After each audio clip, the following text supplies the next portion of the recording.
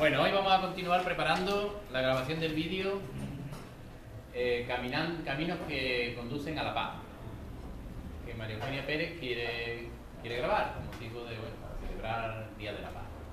Mm, en días anteriores empezamos, eh, elaboramos unos bocetos con distintas palabras, palabras que nos llevan a la paz, como diálogo, inclusión, querer.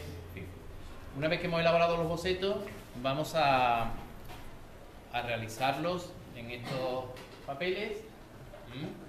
A mí me gustaría un poco más elaborado que de lo que están ahora mismo.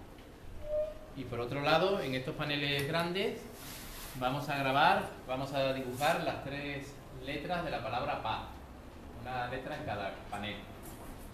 Que ahora veremos, elegiremos un diseño de los que había hecho o yo voy a proponer otro diseño que María Eugenia me dio el otro día, que quizás me gusta más. Ahora lo decidiremos.